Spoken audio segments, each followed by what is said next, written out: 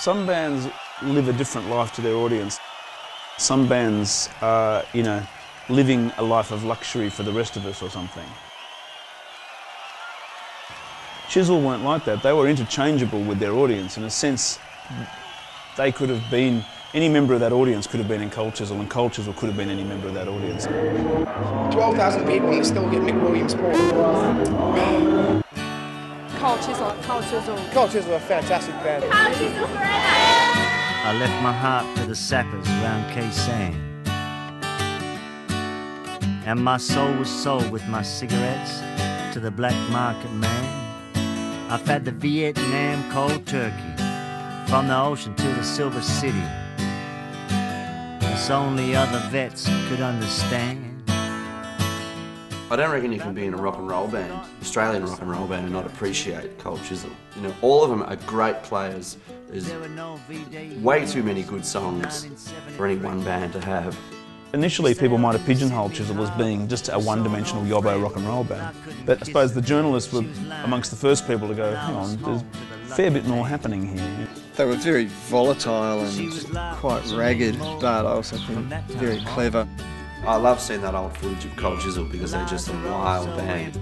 And there's a dangerous element to them, and that's how rock and roll should always be. There's an honesty and a lack of pretension with their music. It's like the soundtrack to your life or a soundtrack to a certain part of your life. They're a meat pie kind of band, but a bloody good gourmet one.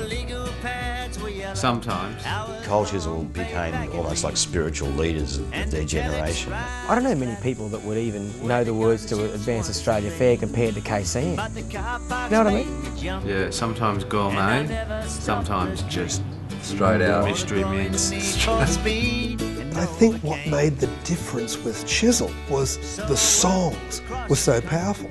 There's, there's not one bad suckhole single there.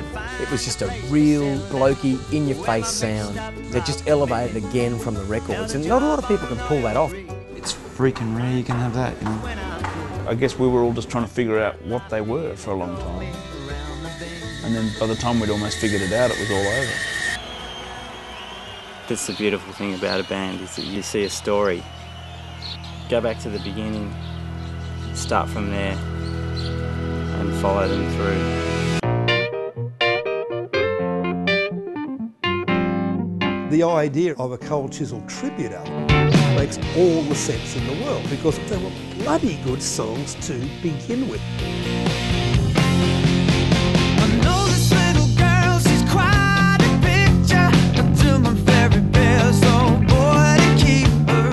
when something like this comes along and you're in the middle of rehearsing for a tour or writing, it's really good because sometimes you listen to other people's playing and you go, wow, I never would have thought of that. I feel really excited about just, just starting the track today and, and knowing that it's going to be on a record with such a lot of other great artists and also a lot of great songs that have been picked.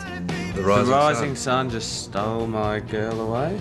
That's correct. Cold Chisel. Bloody rip What album was it on? East, I think. We're Dallas Crane and we're recording another Chisel track. Oh, hang on. I've never that one before. Never recorded a Chisel track. Oh, don't bite my head off. I can't remember. I was only in nappies at the time. Mm. I still am. You can never quite relax until you feel that the, the original writers have, have heard it, you know, and they've kind of given their seal of approval.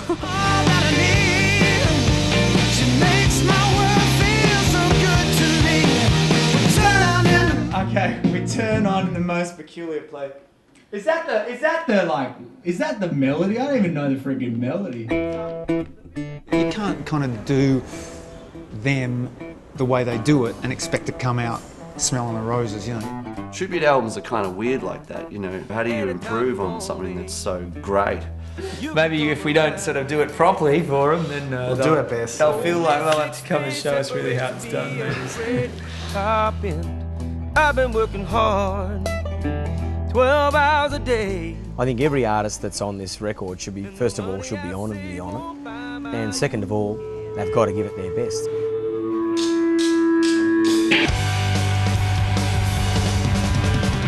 We're going to go at it like a ice smoking bull at a gate in a china shop.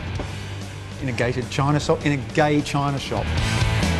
Our spin on it is to just throw as much youthful young, red blooded energy into it hopefully make it jump out of the speakers and give you a good old slapping.